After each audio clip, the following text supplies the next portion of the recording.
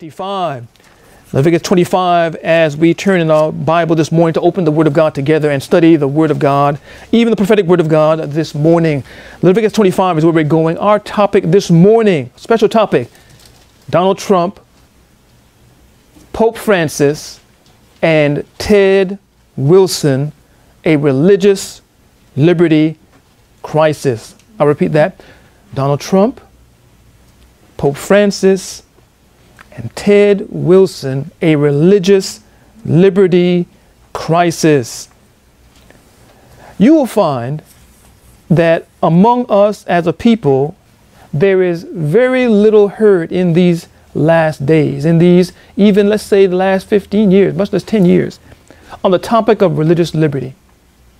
It is seemingly apparent to those with prophetic eyes that the idea and the promotion and the warnings that we at one time heard along the lines of religious liberty are slowly eking down to but a whisper among us. And even the idea of why the topic of religious liberty as a topic will be presented in churches or even presented by a denomination of people seems obscure. It seems clouded. Why would we do that? Why are we getting involved in that? Just preach Jesus, some would say to you.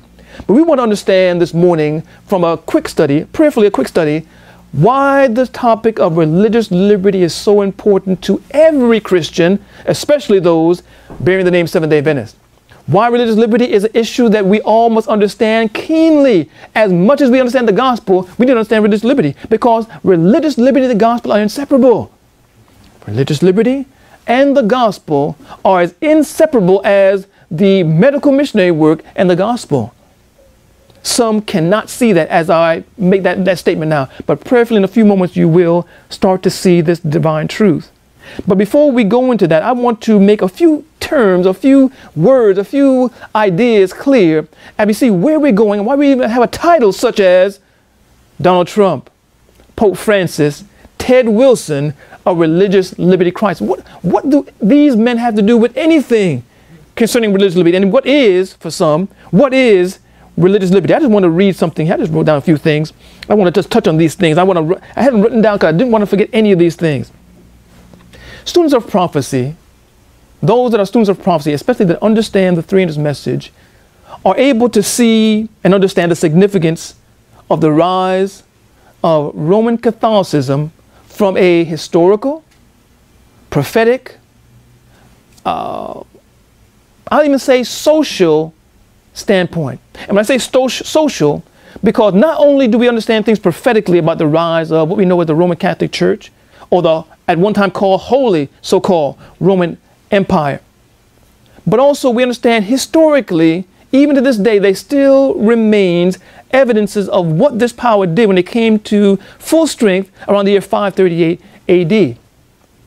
But socially, socially, when we deal with human rights, the rights of every person, of every nation, every kindred, every tongue, every person. When we deal with human rights, we understand in our age of this world, in this last few thousand years, that historically, not only prophetic, but historically and socially, Roman Catholicism, the Inquisition, the Order of Faith, and its worldwide efforts through the powers of Europe stand unparalleled when it comes to human rights abuses, the destruction of human life based on religious preference, even a preference of Catholicism over any other religion or even the idea upon the earth. They also understand that this church called Roman Catholicism, called the papacy, this power that was both a government as well as a religion, students of prophecy also understand that this power, in connection with the monarchies of Europe, Spain, Portugal, France, and so on, were on the verge of establishing what I call a old world order. You ever heard the term New World Order? The New World Order is called a New World Order verily because it is a new installment of what was the Old World Order. And those that are students of prophecy understand keenly that the papacy, the Roman Catholic Church, what was called at one time the Holy Roman Empire, was on the verge of securing a old world order or a global system of spies, of governments, of prisons, secret and, pu- and public, of uh, laws and restrictions and working agreements between these various countries to close down all human freedoms not afforded by the Pope of Rome. This world order and the re, re, reduction and even elimination of religious liberty and even human rights was almost secured except for one singular movement. Now, again, those that understand prophecy, especially those that understand the book of Revelation, they understand that, yes, in the ninth chapter of the book of Revelation, especially 8 and 9, it deals with the trumpet. The trumpets talk about the three woes. And of those woes, the Mohammedan Empire, the rise of Islam, did play a role in keeping the papacy from establishing a world order. We understand that, but we're not dealing with Islam. We're not dealing with the power that we know as the Mohammedan Empire whether it be the Ottoman Empire, all the various tribes of the sons of Ishmael, we're not dealing with that power and its role in thwarting this world order. They were significant, but they are not as significant as this one I'm talking about right now. Also, though the, the book of Daniel, sorry, the book of Revelation 11, they understand that in the 11th chapter of Revelation, a power is brought to view that the great controversy calls a new manifestation of satanic power. And what we understand as the age of reason or the the the Jacobin uh, movement of France, what we understand as the the movements, and we'll see this point as being important, the movements of so-called liberty that came as a result of the French Revolution spawned what we know as socialism, communism, and many movements that completely changed the governmental structure of the entire world. All the governments of the world were shaken by this movement of Revelation 11. As a matter of fact, all the monarchies of Europe and even some parts of Asia, we talk about uh, Russia and so on, were overthrown in a short order of time as a result of the teachings and movement that came out of the French Revolution. The Bible calls it a beast or a nation, a government, a structure the Pen of calls it a new manifestation of satanic power. And this movement also played a large role in eclipsing the power of the papacy for a time and keeping them from securing a world order or a global control that was unbreakable. We're not dealing with that power, though, even though significant as it was, its role. We're dealing with something dealt with in the book of Revelation, chapter 2. The book of dealing with Sardis. We're dealing with a movement that came up even during the time of Thyatira, talking about the seven churches. We're talking about a movement called the Protestant Reformation. The Protestant Reformation did more to keep the papacy from establishing a world order than any of the other movements. Significant. Henry Kissinger, in his recent book, mentioned an incredible quote. He mentioned that the papacy, or I won't say the papacy, he said that the, the, the idea or the establishing of a world order was interrupted, he said, by Protestantism. He said the two swords of the papacy or Catholicism and the state were interrupted by Protestantism. Protestantism as the gospel they had and the works that that gospel brought about that we see so little of today. And these principles of the gospel and the working out of them in the lives of those that had it found themselves into the governmental structures of those nations that embraced the gospel, just as those that embraced the French Revolution brought so-called, I so-called principles of liberty they thought into their government and swept out monarchies and also the papacy. Protestantism also swept out the papacy. They didn't want popes or kings, but they brought about an idea of liberty and equality that was based not upon the age of reason or the power of the mind or ancient paganism. It was based upon the gospel. We want to see these two powers contending as we go through this series of talks on religious liberty. We can't deal with all today. But Protestantism, are we still together? Amen. Protestantism was the main agent that throughout all Europe and then into all the world played a and gave truly a part of that deadly wound. Yes, we know that the powers that were in France, the the the powers that were under the auspices of the French government and so on, had a role in that deadly wound. But that deadly wound would not be possible if that sword of Protestantism did not continue to keep that wound in effect and also create a weakness in the papacy that that wound could be given.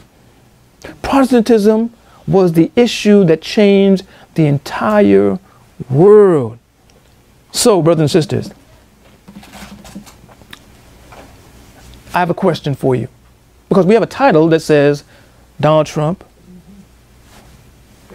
Pope Francis, Ted Wilson, a religious liberty crisis. Why, why, why use these individuals as a symbol or a, a issue, why not just deal purely with religious liberty? It is imperative that you see where we are and what these individuals and the organizations or the movements or the governments they represent play and show us as it comes to the coming of a national Sunday law and even the end of time.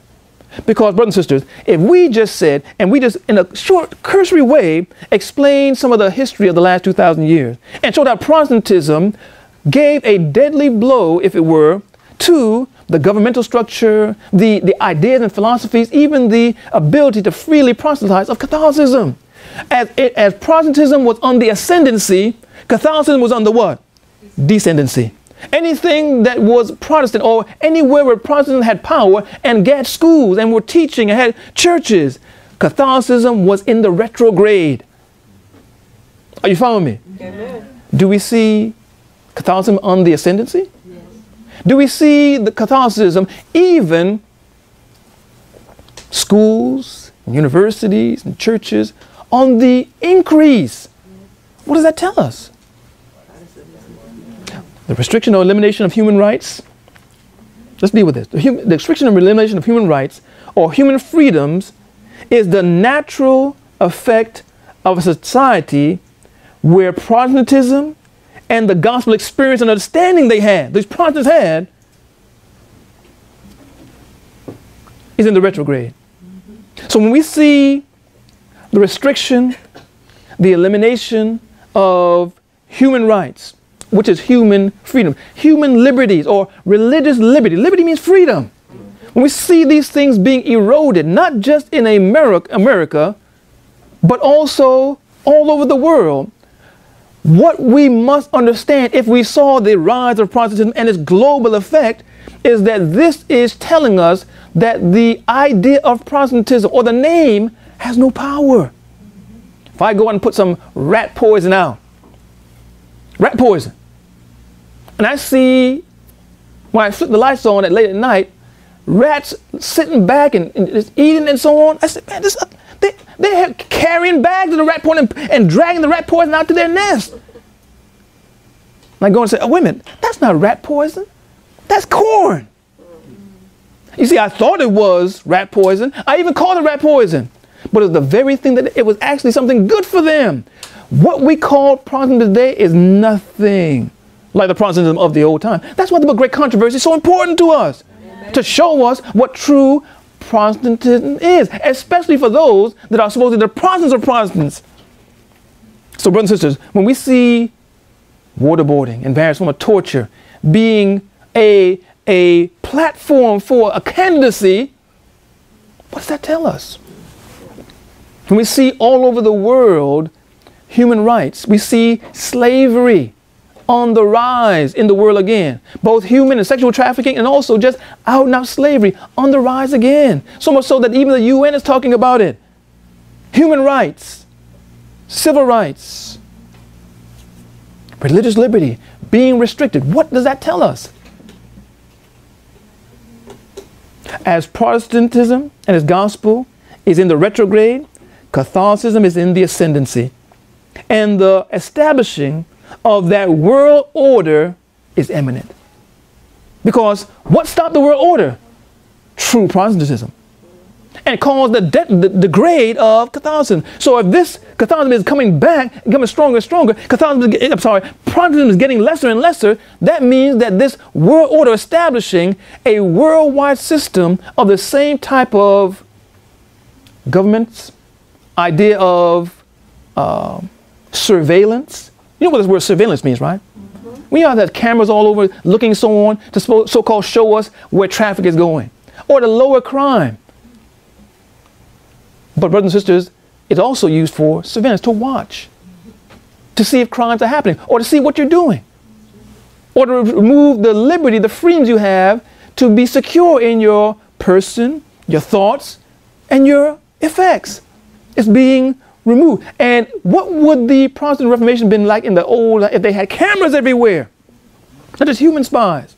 If governments were as we are today, moving back toward an idea where you're guilty before proven innocence. You see, the whole idea of Protestantism reversed that so that so you were innocent.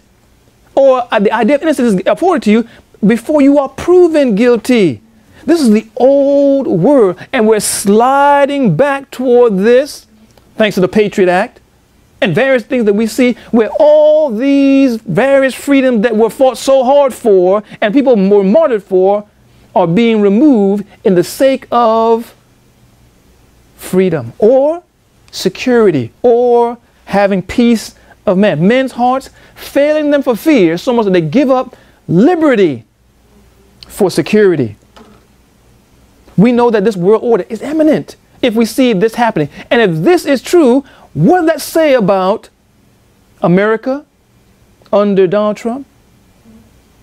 The role and the power of the papacy under Pope Francis, and even the power or validity of seven day Adventism under Ted Wilson.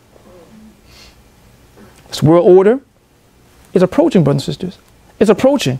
And I would like to, in just a few moments, a few final moments, lay this foundation give us an understanding of what we're looking at and why we're dealing with this topic, and then show and explain to a small degree religious liberty, because we're going to go over a period of time and explain this more and more. Let's deal with these three groups. Number one, Pope Francis. Just in a few seconds, let's just deal with this. Pope Francis is the Pope of Rome. You do understand that. You know that, right? Amen. Is Pope Francis a Jesuit? Okay. Do you understand that the stated mission of the Jesuit order, both anciently and even today, is the re-establishment of papal supremacy. Yes. You understand that? Yes. The re-establishment of the papal supremacy is the role of the Jesuits, whether they're schools or their seminaries or their no matter what arm or agency or auxiliary or mechanism of the Jesuits, their role, their purpose is the re-establishment of papal supremacy by the removing of all the effects and power of the Protestant Reformation. That's their studied and, and avowed aim. And for a Jesuit to sit at, in the papal chair of the church, of which they're supposed to return all power to, that is ominous. There was something called Vatican II in the 60s. And the purpose of Vatican II was re-evangelization. What does re-evangelization mean? Evangelization means to go and evangelize. Re evangelization means taking back all that Protestantism has taken. And how can you enter a strong man's house unless you do what? Bind. First bind or even kill the strong man.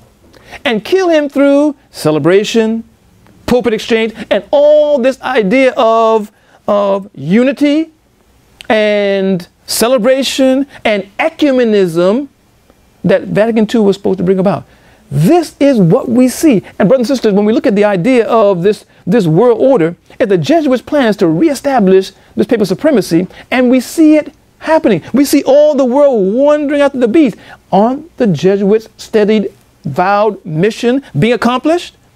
Don't they have a Jesuit sitting in the very papal chair at the very head of the papacy to bring this about? Is not destruction of Protestantism almost complete? If this is so, brothers and sisters, are we not in a religious liberty crisis? Pope Francis uh, uh, called or spoke or said or put forth an idea of a year of Jubilee. And that year of Jubilee ends this year with the 500th anniversary of the Protestant Reformation, meaning he's ending the Protestant Reformation. And we'll see the importance of the Jubilee in a minute because, again, it deals with the principles of religious liberty.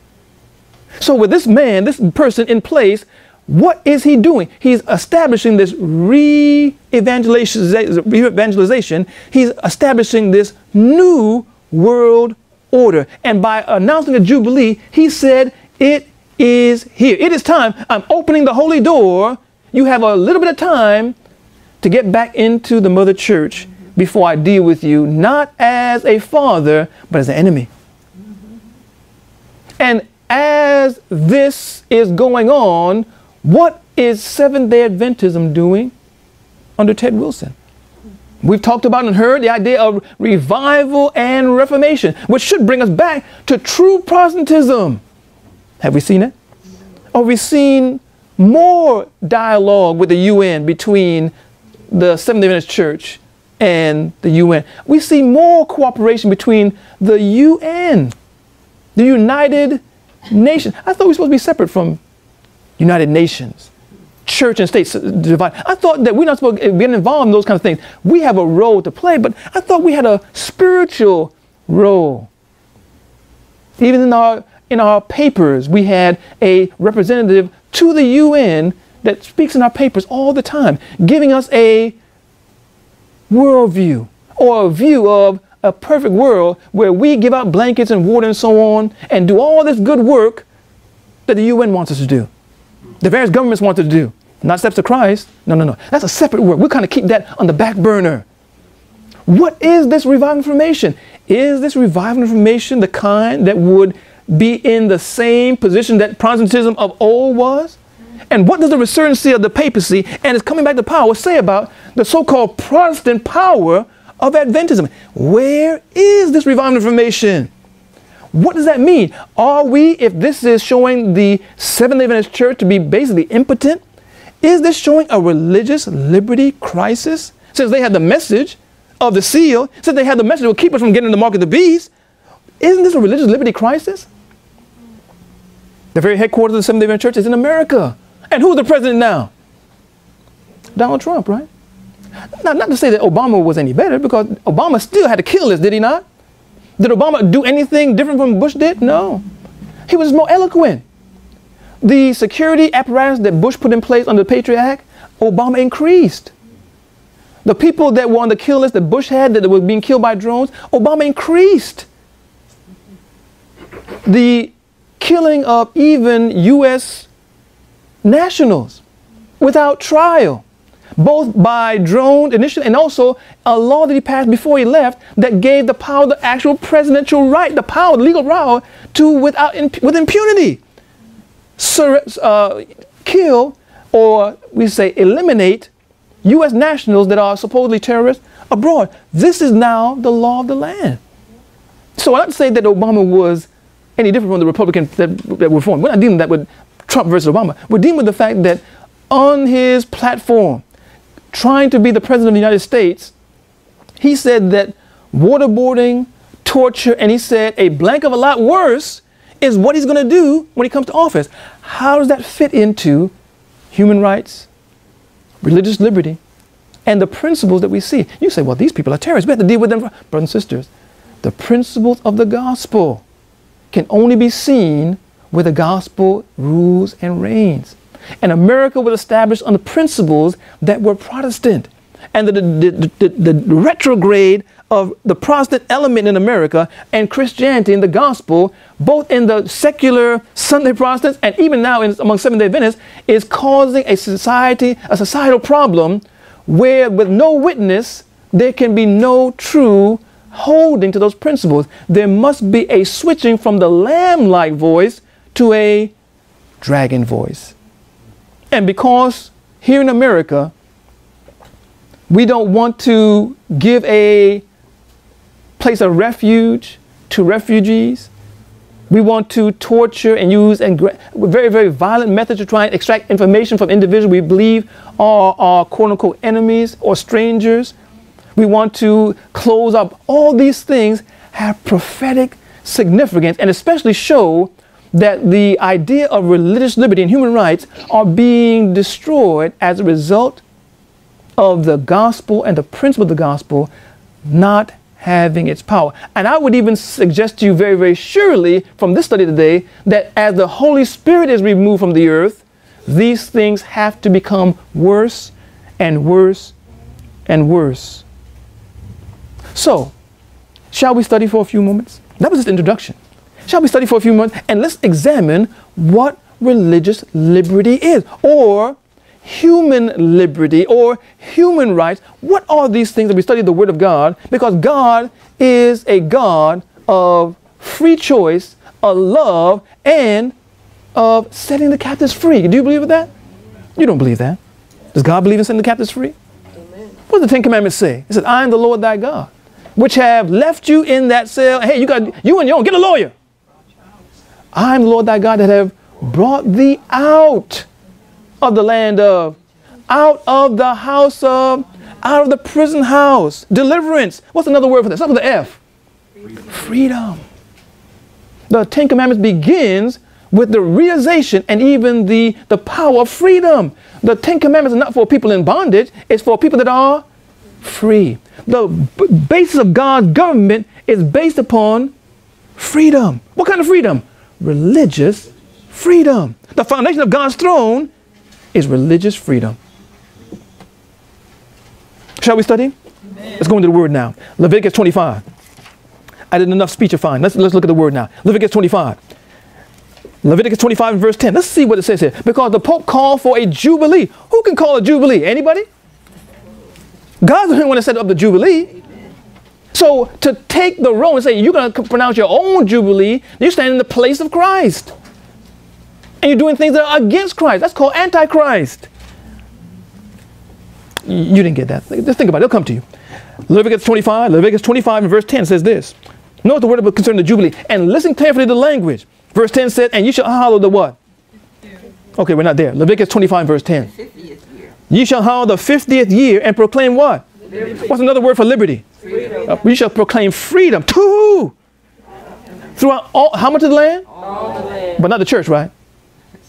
All the land, right? Yes. Hmm. All the land. Unto how many of the inhabitants thereof? All. Wait a minute. Not, not the sinners now. Not people that are evil. Just to some people. How much of the land? All. God was going to give all the land freedom. He was to give all the people freedom. Just the church people, right? Just the good people. Just the health reformers. There's people that, you know, ate right, dressed right, people that fit, just only they get freedom, right? Only they should be treated nice. Only they should be loved. Only they should be respected, right? Everyone else, hey, they're sinners. They get what they, you can get what you get. No.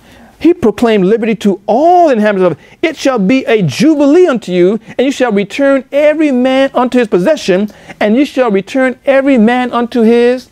In other words, those that had lost their possession, whether it be money, whether it be some type of, of wealth, even a, a home. He, if he had lost it through some means, it was not only freedom, but also release. If he had incurred some type of debt, it would be forgiven, cleared. And he would be reunited with his family. Even the, the social separation would be remedied through the Jubilee, which is the type of the gospel. Do you see that? Amen. Now, this idea of the Jubilee has a understanding that's trying to be reframed or reinterpreted in this generation through what the Pope is doing right now. But unless you understand the principle we studied this today, you can't clearly see it. Only God can call it Jubilee. And the Jubilee was setting the captives free, reuniting the dispossessed to his possession, reuniting families. All this was accomplished through the Jubilee. You might even call it, or it's being called today, here's a term that people don't like, it's called a redistribution of wealth. Hmm. Ever heard that term before? Yes. A redistribution of wealth. It's called a canceling of debts.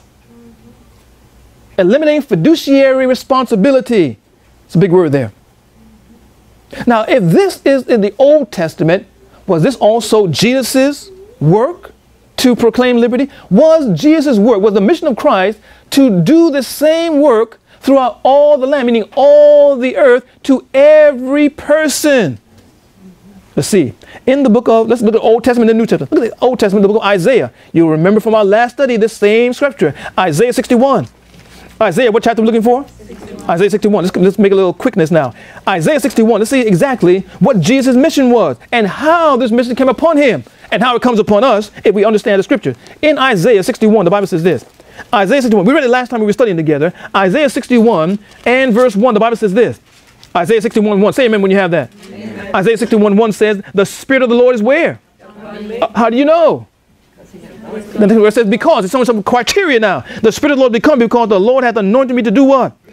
Preach the good tidings or the good news. The word tidings means news unto the. He hath sent me to bind up the brokenhearted, to proclaim, what's that next word? Liberty. Liberty to the captives and the opening of the prison to them that are bound. Brothers, have we read that before? Yes. We're concerning the gospel, right? This is the gospel. And the gospel is inseparably tied together with the proclaiming and the working toward and the establishing, the, the, the accomplishing of what? Liberty, which is freedom. It's the foundation of the gospel. Freedom. And when we look at the work of Jesus, Luke 4 says it. We can look at there if we want to. In Luke 4, I think it's verse 18. We, let's read that. Let's read that just for the sake of time. In Luke 4 and verse 18, when Jesus began his public ministry and he went into the temple, they handed him the book of Isaiah. And what scripture did Jesus read when he read the book of Isaiah on that awesome day opening his gospel ministry? The very passage we just read. Knows what it says in Luke 4. Luke 4. Jesus' mission was the proclaiming of liberty or the acceptable year of the Lord, or of the setting of free, setting free prisoners, binding up the broken-hearted because they had been separated from family, from their true, even their, their true father. There was a reuniting, a, a forgiving of debts or even of sins in the book of Luke. Luke, the fourth chapter. Matthew, Mark, Luke. Luke 4 and verse 18, the Bible says this. It says, The Spirit of the Lord is upon me. He's reading Isaiah 61. Because he has anointed me to preach the gospel to the poor. He has sent me to heal the brokenhearted, to preach deliverance to the captive. captive. Deliverance means set free Recovering a sight to the blind to set at, what's that next word? Liberty. Liberty them that are bruised. Here again we see in the reading thereof, Jesus again said that this was fulfilled in there verse 21. This is fulfilling the ears. What?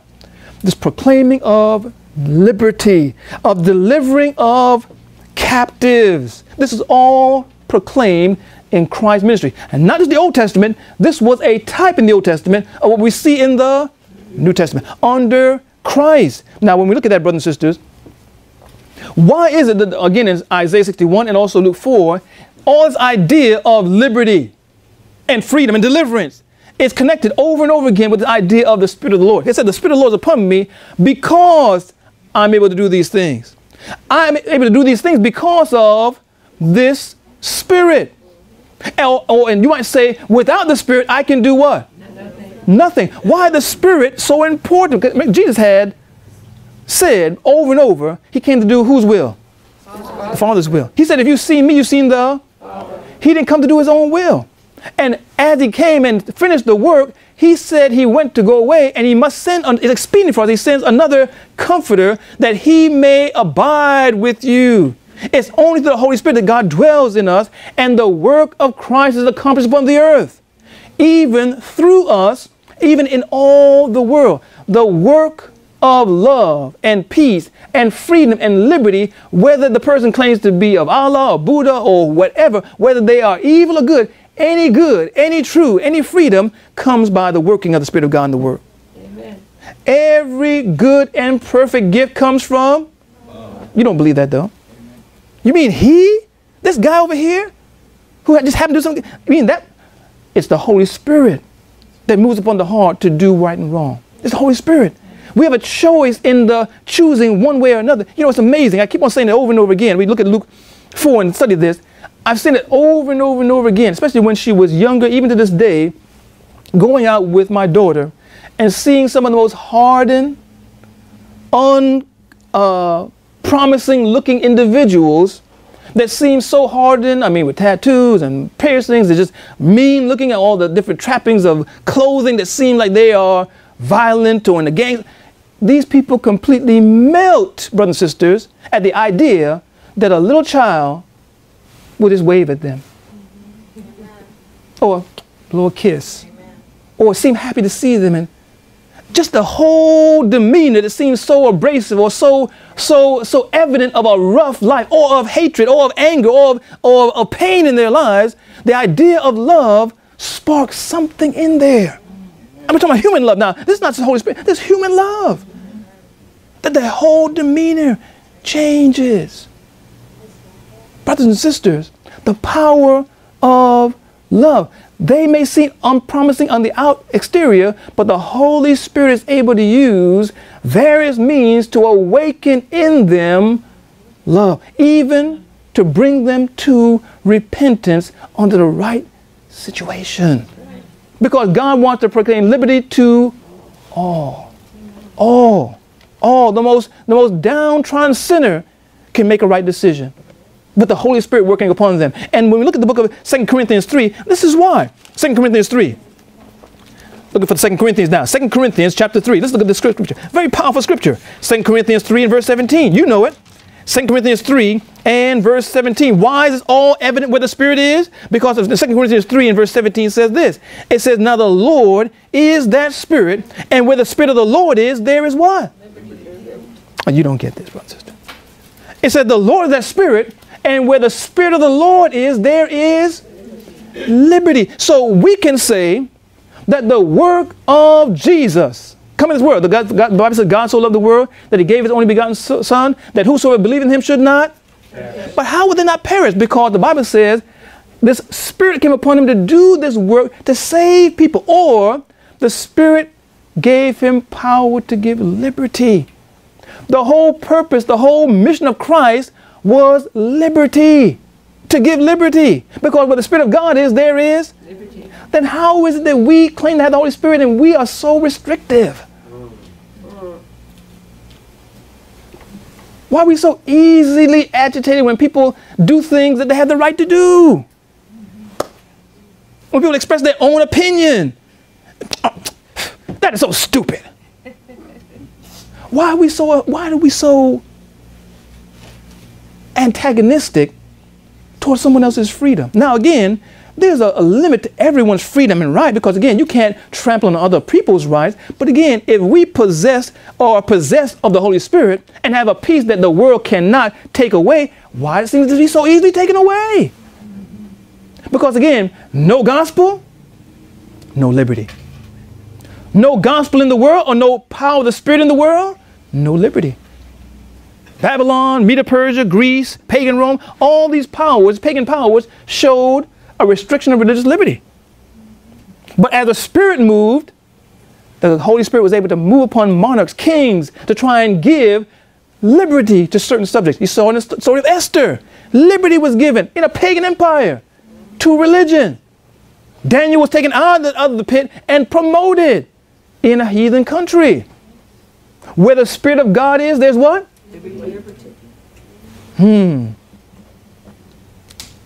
You know the text, Galatians 5.1. Have you read Galatians 5.1?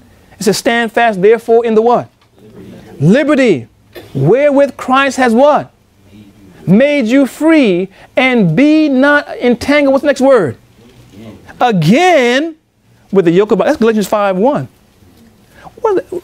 you might turn there if you want to. I'm not going to go turn there now, but I want you to look at that text in your mind. Stand fast, therefore. In other words, stand fast means don't move anywhere. Stand fast, therefore, where? In the liberty, because Christ gives liberty. He gives freedom. The gospel gives freedom. Stand fast, therefore, in the liberty wherewith Christ has made you, because liberty is what? Freedom. And be not entangled again with the yoke of. What does that tell us? That means that, because that word again, that means where we were or the sins that we are part of, or the or the, the the the situation of sin that we were brought out of into liberty, that was bonded. It says, be not entangled again with the yoke of bondage. Brothers and sisters, we see a great controversy here.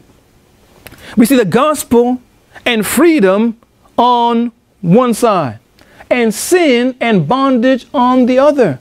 And we see, if we study the Word of God, a battle between these two opposing powers throughout time between sin and the gospel, between freedom and bondage, or freedom and slavery.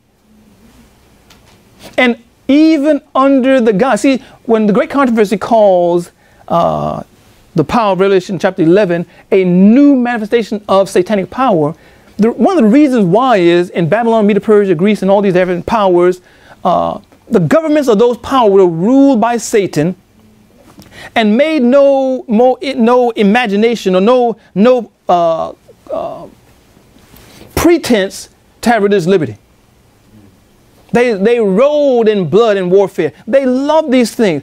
But this power that we see in Revelation 11 coming up, for those who understand that chapter, will be a new manifestation because Satan's going to flip the script, as they say.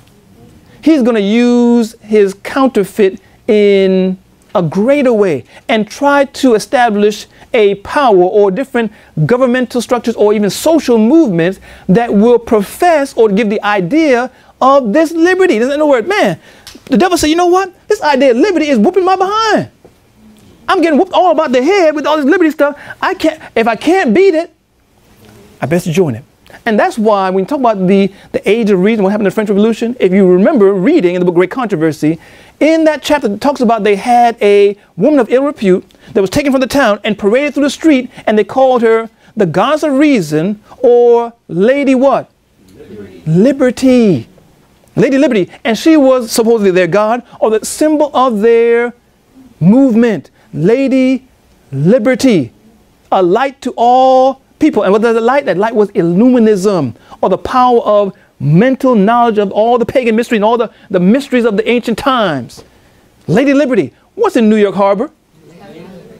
Lady Liberty. With a torch out to illuminate all. Where they come from? France. Say, oh, this, is this is talking about American liberty. Oh, no, it's not.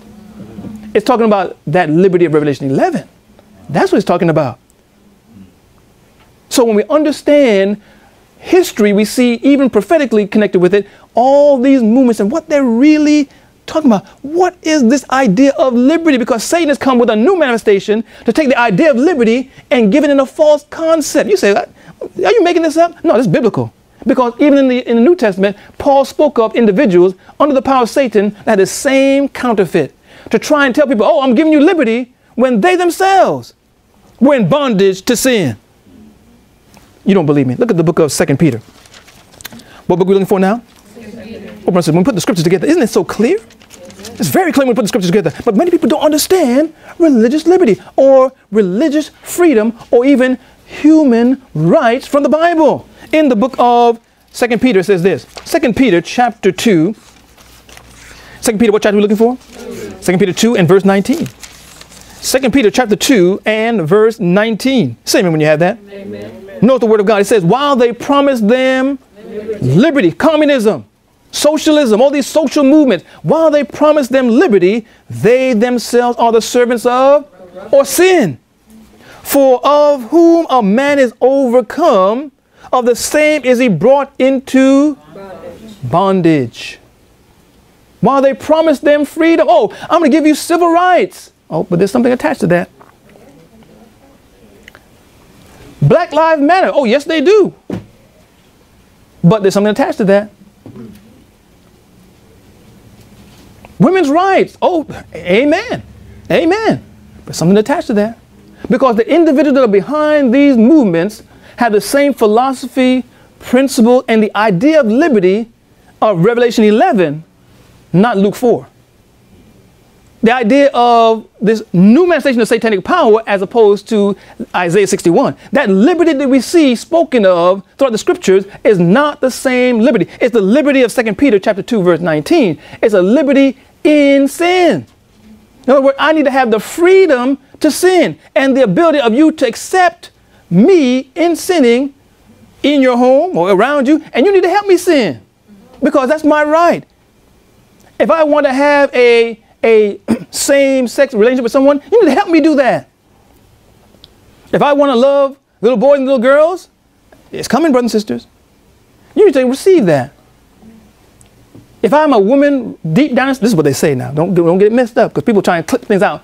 If they say, or someone says, I'm a woman deep down inside, I need to let her out, I need to be able to get surgery to do that. Even though the suicide rate is in something like 80% of people that do that, Re gender reassignment. I need to be able to do that. They want freedom in sin, not freedom in righteousness, which is the gospel. Freedom to be able to do right. Freedom in sin. These two powers. Communism has tried it. Has it, has it worked? Socialism and social movements are trying to, even to this day, put this stuff forth. Will it work? Everyone wants freedom. Rappers and, and, and heavy metal people playing songs, they want freedom to smoke marijuana and show all the benefits from it. For instance, there's, there's health benefits of smoking crack. You say, what? Hey, there's health benefits to something. In other words, when I say health benefits, if it removes a symptom to people's mind, oh, well, that's, uh, that's a benefit. Now, if you have a headache and you smoke crack and it kills you, has it removed the symptom? Do you feel that pain anymore? Well, I guess it's, I guess it's a health benefit then. Because it killed you, so you got no headache anymore. Uh, argument done.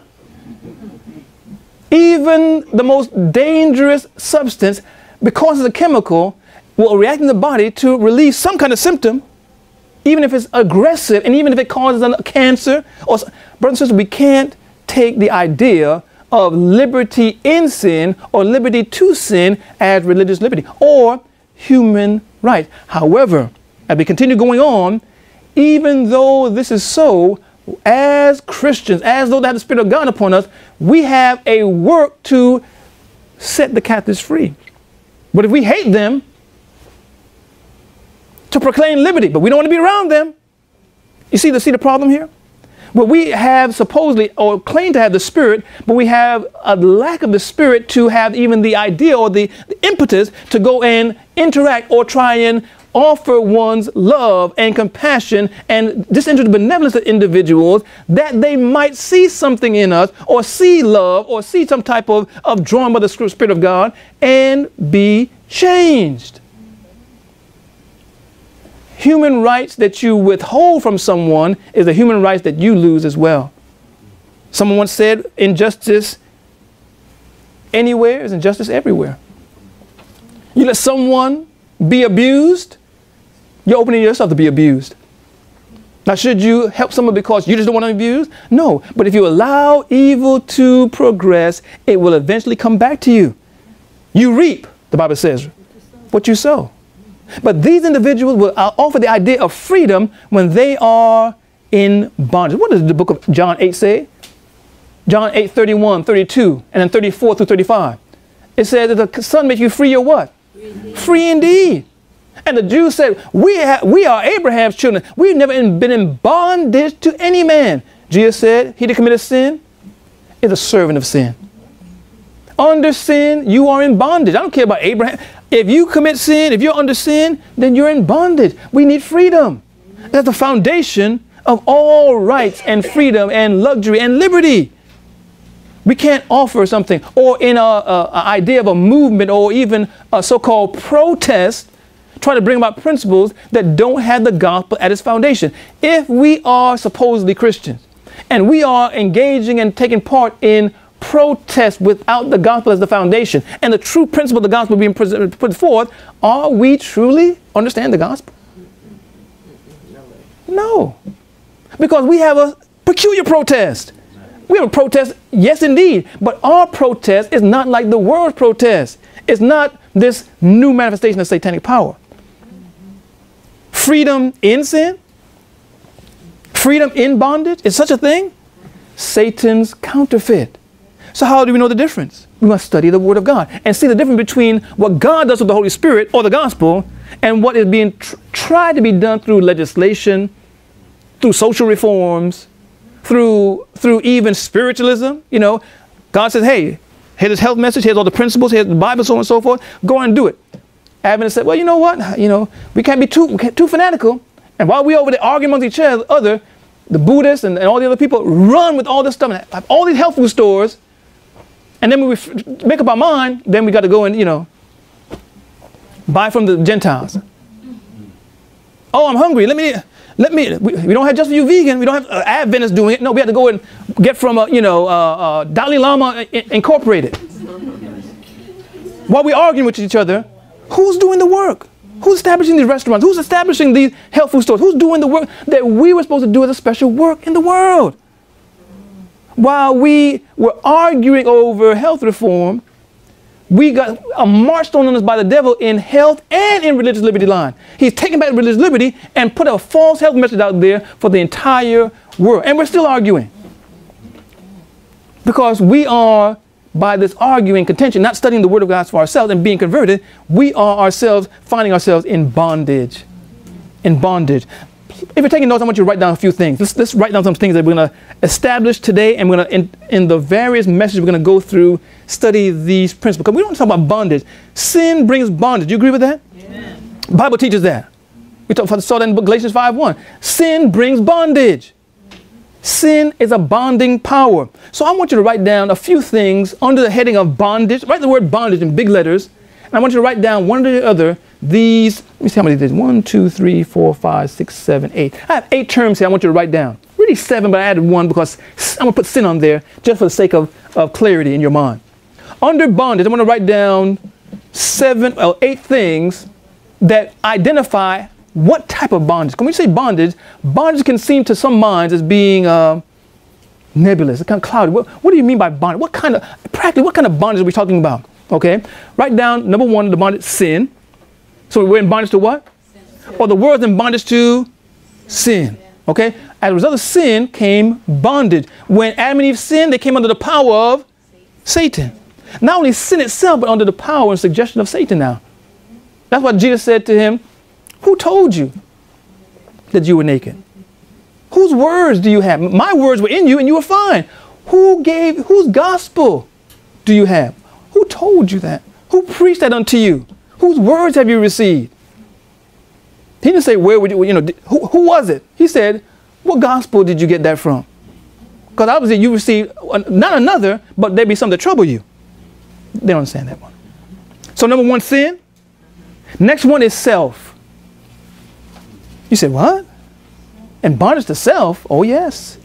We're going to break it down in a moment. Number one is what? Sin. Number two is self. Number three, selfishness. You say, oh, come on now. Yeah, sin, self, and selfishness. Because through self, we have the activities of self. Without self, there can be no selfishness. The action of self is selfishness. Next, one, number one, sin. Number two, self. Number three, selfishness. Number four, fear. That's a big one. We're in bondage to fear. Well, I would knock on doors, but you know, I'm just so, uh, whew, I don't know. Penetration says that shyness is a form of selfishness. Hmm. I, I said that too when I read it. Because many people that are shy are really afraid that self would be wounded by the actions that they might take if they had some courage, per se. If I say that, something may, someone may say something and I may be embarrassed. Self. If I say that, you know, they may not like me and I may ruin this relationship. Even though it's true, it's righteous, it's needed. Selfishness. The root of sin is found in self and selfishness. What's another word for selfishness we find in the Bible? Starts with a C. Oh boy. Bible trivia here. Covetousness. Covetousness. The word covetous means selfishness. It's an old English word. But covetousness means what? Selfishness. That's what it means. Selfishness. You want to take your brother's wife. You want to take your brother's ox. You want to take your brother's land. Selfishness. You want to take to yourself that which doesn't belong to you. Sin. Two, self. Three, selfishness. Four, fear. Five, slavery. We're bondage to another man, bondage through slavery. Now you can say fear is a type of slavery, selfishness is a type of slavery, but you can say almost all these are everything else. They're all interconnected. So number one, sin. Number two, self. Number three, selfishness. Number four, fear. Number five, slavery. Number six, debt. That's a big one. Debt. People say, well, that's not that bad. Okay, well, you know, let's go to Hawaii. Anyone, anyone ready? Well, you know, well, got to work, slavery. I got some bills, debt. What happened when my boss found out? Fear. One, two, three, four, five, six. Number seven, disease. Disease. Yeah, I would like to go to Hawaii, but you know, uh, I know I can make it, you know. Take my shoes off and TSA and so on. I can't sit in that plane that long. Whereas if we had our health, what would limit us, right? In bondage to disease. Does Jesus have in the gospel a method to deal with all these? Amen. What about number eight, which is death? All these things are a form of bondage. Because guess what? Moses would be alive today if he wasn't in bondage. Is that true? He died, right? What happened to him though? He was resurrected. And he is, I guess his debt was canceled. You didn't get that. But there are many in the grave that are waiting for their debt to be canceled. Has it been canceled? Christ did pay the debt. But they haven't got their receipt yet, per se. When Jesus pronounces that word, when he comes out with a shout with, a, with the voice of the archangel, all the dead in Christ shall, even though we may be sick or we may be dying, and we may die, that debt, that, that, that bondage that we're in, even in Christ, that still has some effect upon us, cannot hold us down. We will only rest in the grave for a moment. Only for a moment. Because the gospel deals with all these. But these are the means by which we are held in bondage. Now, why did I write down or have you write down all these things? Because we want to examine them. And examine them, we kind of close down this message and give us a first installment, a foundational installment of this idea of religious liberty. We need two things to really study this carefully. Let's examine something. Look at the book of First John.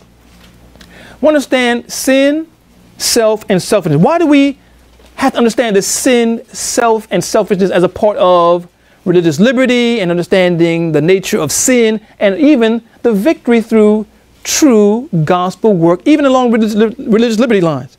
Because we must understand that the root of sin is selfishness. The root of sin is what?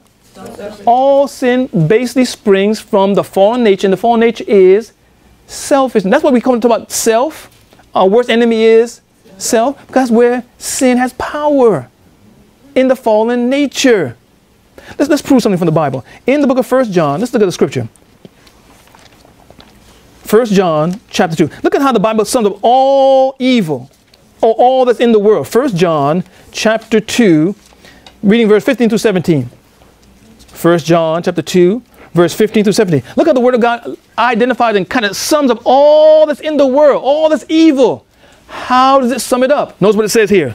And we're going to see how this Bible defines it. In 1 John 2, verse 15 through 17, the Bible says, Love not what? The world. the world. Neither the things that are in the world. So we're talking about the world and what? The things in the world. Theories, principles, methods, items, activities. Love not the world nor the what? So it's dealing with everything that has enmity with God. Can you see that? Amen. Prayerfully you can. If any man love the world, the love of the Father is not in him. Strong statement, right?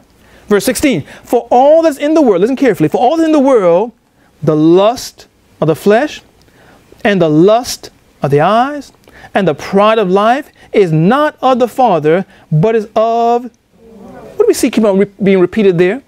Lust, right? And the world, verse 17, passes away, and the lust there of, but he that doeth the will of God abideth for ever. Lust. The whole idea of what's in the world, both the world and the things they're in, is tied inseparably with the idea of lust. Without lust, all things in the world have no power over us. Without lust, the things of the world have no power over us. If God can destroy po- the power of lust through the gospel, we can have life and life more abundant. But what is this lust? That is the, the active agent in the commission and the activity of sin. Again, look at the definition here in the book of Romans 7. This is a powerful scripture when you put them together. Romans 7. What is this lust? Romans, the seventh chapter. Romans, what chapter are we looking for? Seven. Romans 7 and verse 7. Romans 7, 7. This, you should be able to remember, remember that, memorize it. Romans 7, verse 7. When someone says, well, you know, um, how do you say that, that, that selfishness is the foundation of sin? I mean, how could all commandments be broken through selfishness? I'm show you right now. Because all is in the world that's against God and His love is tied up with this lust. And Romans 7 7 says, What shall we say then? Are we there? Romans 7 7. What shall we say then? Is the law sin? God forbid. Nay, I had not known what? Sin, but by the. For I had not known, listen carefully, I had not known lust, except the Lord said, Thou shalt not lust. What's coveting? Lust.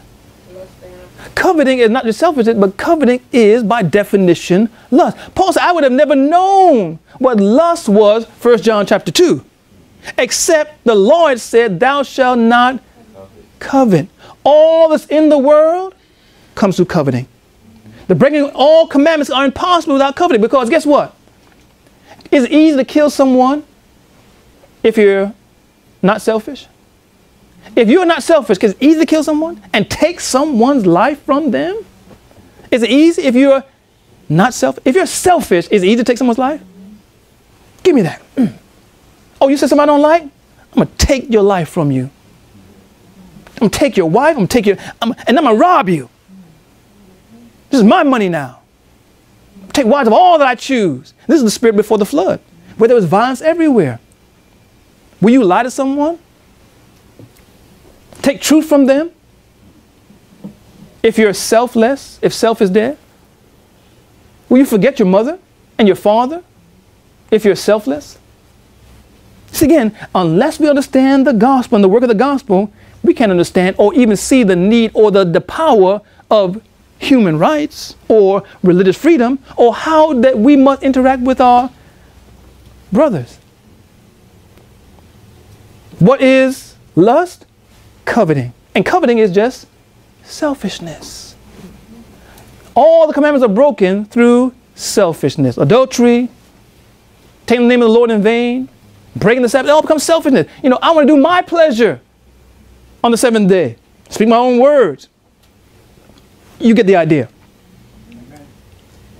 So, brothers and sisters, if this is true, then does the Bible show us from the scriptures how this this selflessness or how this gospel worked out in man from the book of Genesis all the way to the book of Revelation. Do we see this principle being worked out in the earth through his people? Yes. But we have not carefully looked at it or examined it. So when now we look at the scripture, let's see if we can see this all throughout and see these principles clearly shown to us that we can have this type of selflessness and understand that when Jesus said that he came because the Spirit of God is upon him to preach this liberty. Basically, when we understand all these scriptures together, if this liberty comes through the Spirit of God, are you following me? Liberty comes through what? The Spirit of God. And the Spirit of God gives liberty to individuals that they can have liberty or power from sin. And if sin, all sin is wound up in covetousness, what does the power of the Holy Spirit and the gospel destroy? Covetousness. Covetousness.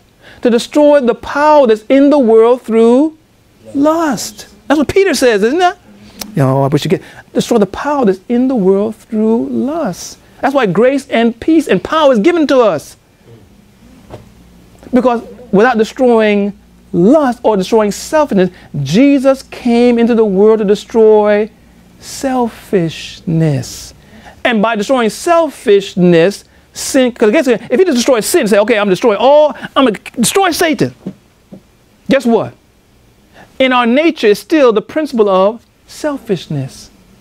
He had to not only destroy Satan, which would be done at the time, and destroy his power, but that power was in humanity because the Holy Spirit that he had must be given to us that through the Spirit of God, self can be destroyed. Even daily. I die how often? Daily. daily. Selfishness. Oh, you know what? Oh, another Sabbath. I need to go and set up all these lights. Oh, man. I'm going to call Philip. Let Philip do it. Come on. Philip, hey, why don't you? Well, I can say, hey, get up and do it. Selfishness. Because again, to minister means to be a servant, to give their time. Oh, man, I'm going to go and travel and see the world. Did God tell you to do that? Or is that what self said to do? Mm-hmm. Did God say to stay in one place and create a library of sermons that people, if you die, could continue to have it? Or do you want to go and go to Germany and go to Africa and so on? Oh, oh man, you pay for it? Oh, I'll be there. Philippines, yeah, I'll come in. It might seem good. People say, oh, this brother's everywhere. But it actually was selfishness. It's not God's will, it was your will. So when we look at the scriptures, brothers and sisters, let's examine that God surely showed us that this power was all throughout the scriptures, the principles of righteousness. Look at, the, look at all the way in the back of the Bible, in the book of Leviticus, Leviticus 19.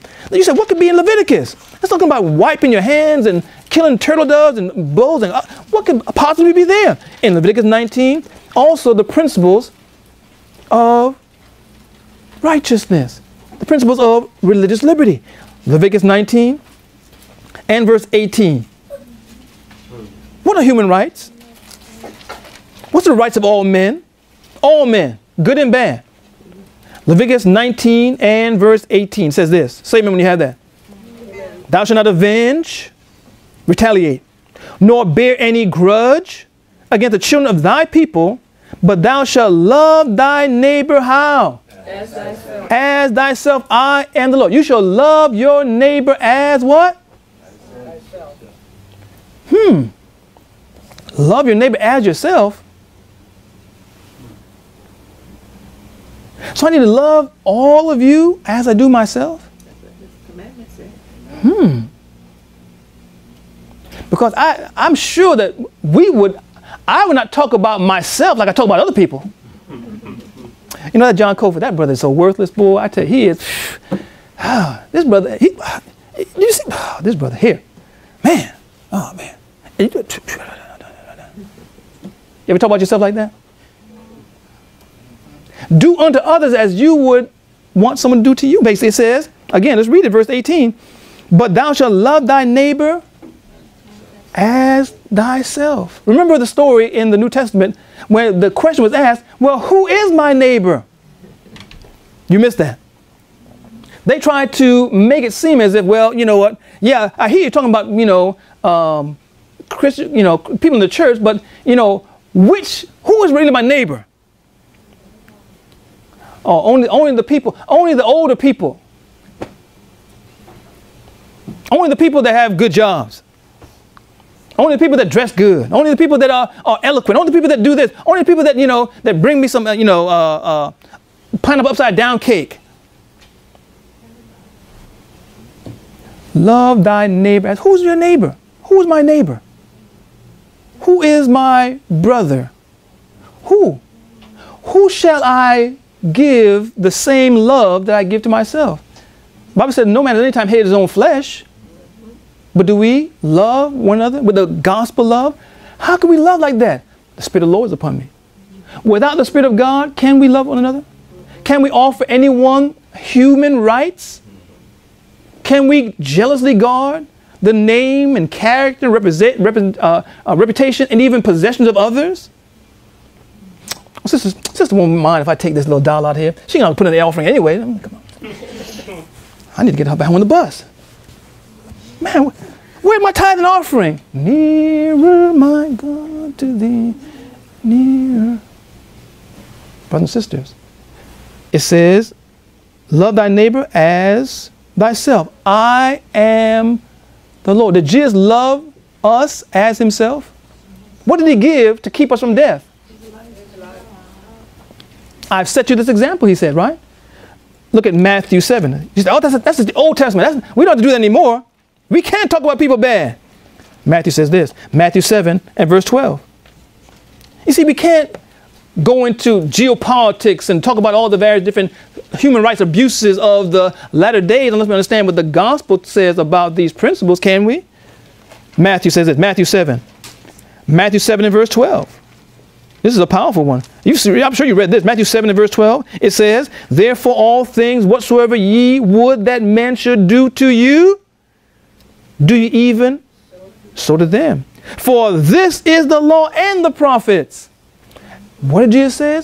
All the law, the first five books of the Bible, and all the prophets, which is all the Bible except for the New Testament, is summed up in doing unto others exactly what you'd have them to do to you. In other words, that's called equality. Because everything you have, if you allow others to have it, if everything that you want, you allow others to desire it, if everything you want to possess, you allow others to possess it, if you do unto others' character and name what you do to others, brothers and sisters, that's called equality. And human rights, according to the Word of God, according to the Creator of all men, basically saying that God holds these truths to be self evident that all men are created equal. This is what the scripture teaches. Jesus said, All the Lord prophets show this truth. Do unto them, or as you'd like men to do unto you, do so unto them. Give people equal right. You talking about homosexuals? No, no. It's talking about church people, right? You must also love people no matter what their sin, no matter what they do. You must love them. Sin does not disqualify someone from human rights. This person, this person, you know what this person is? This person is nasty. Person, you know what? Oh, oh, I can't love this person. I can't love this person. I can't be kind to this person. I can't give this person civility. I can't give this person my cup to drink. Well, if you do, burn it. I can't give this person food. I can't give it. The Bible says, I am the Lord. Jesus said, I am the Lord. This is my child too. Remember the story of the prodigal son? The son said, You know, I've been here with you all this time and you haven't given me a, a calf to, to serve it all my. You know, he was upset that this one that had been lost had been found. He was upset that he had left sin. He was upset that he came back and they rejoiced that he had been recovered. He was upset because he had been set free from sin. He had religious liberty. He had accepted the power of the Spirit of God to get human rights. And his brother in the very same church that he was in was upset that he had the same rights that he had. He thought he had more. Matthew 7 and verse 12. Therefore, all things whatsoever ye should, men should do unto you, do ye even so to them, for in this is what? Law. All the law and the prophet. What are other men's rights? The same as ours. Do you like to be spoken evil of? Hurt, abused, physically, spiritually. You, do you like that? Do you do it to others? Do you like people to yell at you? Don't yell at other people. Now, if they yell at you, hey, that's between them and their God. But if you have asked the Holy Spirit to be with you, you can't return. That's what the Bible said don't avenge and retaliate. If the Spirit of God, because if the Spirit of God is in you, you're setting the captives free, not knocking them into prison. Well, I'll oh, you, better, you don't, you better hope, you hope I'm in the blood. I'll put my religion down and take it back up again. You better hope I'm converted. You ever hear the people say that? Yeah. Mercy. So, brothers and sisters, as we go through this, are we seeing the gospel and these principles of human rights and religious liberty inseparable? But, but the Bible is, is even more clear than that. Look, look at James 1. We say, oh, you know, how do we know someone's a real good Christian? Oh, if he keeps the Sabbath. Isn't that the first thing people say?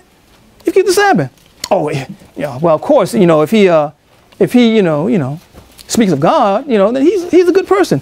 How does God estimate a man's religion? By how we serve God and how we keep the Sabbath, and how we don't take the Lord's name in vain. Okay. James 1. What book are we looking for? How does God estimate? Not how the, how the church, how people how you and I, have mercy, estimate. Someone came in said, boy, I tell you, if, if President Obama took his vacation and came and said, you know what, I'm going to go see what Cofer's doing. You know, eh, but people don't say he looks like me. I don't know. Just go down and see what Cofer's doing. Secret Service came in, walked in, everyone would be, you know, taking selfies. The whole Sabbath would be destroyed. Everyone get a picture, everyone get an autograph. Yes, no? Yeah, we'll see. Because he has money and power and prestige. And when he comes in, you know, oh, oh, oh, you know, dun, dun, dun, dun you know, just, you know, the music playing, throw the red carpet out, Secret Service coming in. But, you know, little brother Smith comes in, you know, looking for a seat. He's back to 10, 10 minutes.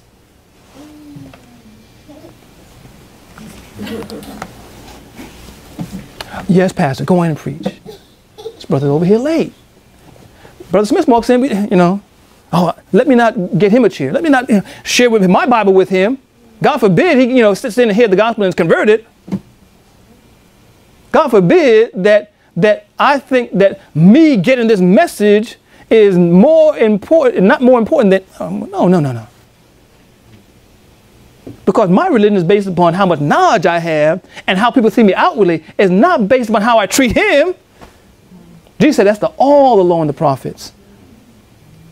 Your Christianity is not based upon, in the Bible sense, in this New Testament sense, in the scriptural sense of how you keep the Sabbath. You say, no, no, it has to be. Well, I'm not saying it's not. But God really interprets how your religion, or what your religion is, or if it's valid or not, by how you treat your brothers. I'm going to prove it to you. James 1.27. James 1 what? 127. It says, pure religion, pure religion. Now, the all type of religion, pure religion and undefiled before God and the Father is this, to visit what? The church. Visit the general conference and take some pictures, right? Visit the fatherless and widows in there. we don't want to visit them in their affliction. Why? They might want something from me. Man, I got to pay my rent today. Mm-hmm. Wow. I'll, I'll visit you on the second of the month. I'll visit you. Oh, I'll visit you. I won't visit you on you know the, the 31st, the 30th. You know, I'll visit you after you paid your bills. Visit them in their affliction. It says, and to keep himself unspotted from the world. So unspotted from the world means no sin, right? But again, the first part is dealing with our brothers, doing a work for our brothers. First John again comes back and says even he says even more stronger language. In First John 4, Jesus says, You are not a Christian if you don't love your brother.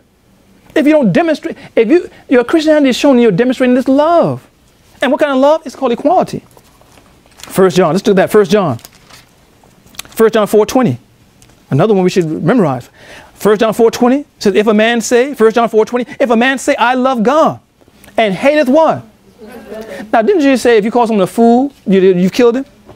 You've hated him if you call him a fool. Be careful what you say. If you say you love God and hate your brother, you are a liar. For he that loveth not his brother whom he has seen, how can he love God whom he hath not seen. And this commandment have we from him, that he who loveth God love his brother also. That's God's commandment, that we love our brother. But again, who is our brother? You would say, well, you know, only the church people, right? Only the church people. I gotta love the church people. But outside there, these dirty pagans, mm, can't wait to the time of trouble. You know, I, I often wonder when we are in a rush. Oh, I can't wait for this to be over. Now, again, I can understand the, the trial and temptation of this world, but if the world ended today, how many people would be lost? Because again, self says, you know what, I am tired of this struggle day by day. I don't want my children to grow up and have to deal with all this. This stuff does not, it just seems like the storm clouds are coming. But who will save all these people? Well, how is this great multitude going to come in unless someone stands and loves their brother? Loves them as themselves, proclaims liberty to them, that they may have the right to not be beaten physically, through words, all that they could be cared for, they could be loved, they could be given the opportunity to hear truth. In Matthew 25 and verse 40, Jesus said, As much you've done to the least of these, my brethren, you've done unto me. What you do to your brother shows what you believe about God or who your God is, whether it's the prince of darkness or the prince of light. No matter what we profess or what our church membership says or what we say that our books on the shelf, brothers and sisters, what we do to other people our desire to win souls, to help people, and not win souls just by sophistry and books and so on, but by Christian character. We can't talk about love when we're angry. Turn to John. John 17. If you love me, are you listening? If you love, can we show forth the fruit of the Spirit? If the Spirit of God is upon us. You see, because without this, this, this foundational point, this power can't trickle out of the home, from the heart, and out of the heart into community and affect laws and kings and kingdoms, and like the Protestant Reformation did, completely change the, the, the structure and fabric of society. This is what stopped the old world order from hastening greatly and even being accomplished. But again, we're in a time where the love of many or this love that we see as true religion shall wax what? Let's close.